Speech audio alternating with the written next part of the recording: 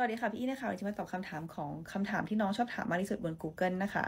วันนี้นะคะจะมาตอบคำถามที่ 2 นะคะ ก็คือว่าเรียนต่อจีนคณะอะไรดีค่ะพี่อยากจะบอกก่อนนะคะว่าความจริงแล้วจริง ๆ แล้ว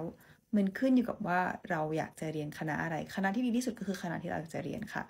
แต่ถ้าพูดถึงว่าคณะที่นักเรียนไทยนิยมไปเรียนกันนะคะ ก็จะมีคณะภาษาจีน คณะการสอนภาษาจีน คณะบริหารธุรกิจ ธุรกิจระหว่างระหว่างประเทศ วิศวกรรมนะคะซอฟต์แวร์ civil engineering แบบ engineering ต่างๆนะคะ เพราะว่าความจริงแล้ววิศวกรรมที่ประเทศจีนเก่งมากๆ แล้วก็มีภาคอินเตอร์ด้วยนะคะ แล้วก็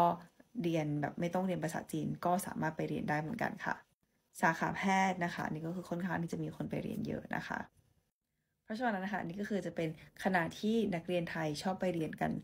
มากๆนะคะ ถ้ามีคำถามอะไรนะคะ สามารถดูเพลย์ลิสต์ในโปรไฟล์พี่ได้นะคะ ถ้าพี่ไม่เคยทำสามารถคอมเมนต์มาถามข้างล่างได้เลยค่ะอย่าลืมกดไลค์แชร์ follow แล้วเจอกันในวิดีโอหน้านะคะ บ๊ายบาย